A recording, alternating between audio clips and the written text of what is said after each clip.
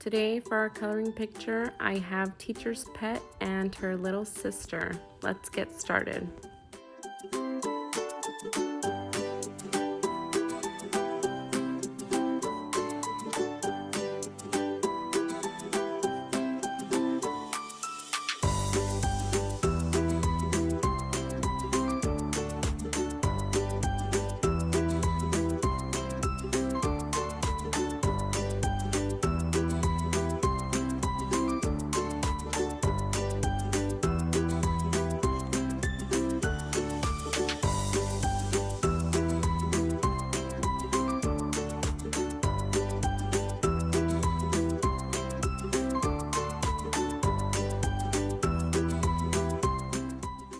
She originally has a plaid skirt, so I will draw one on.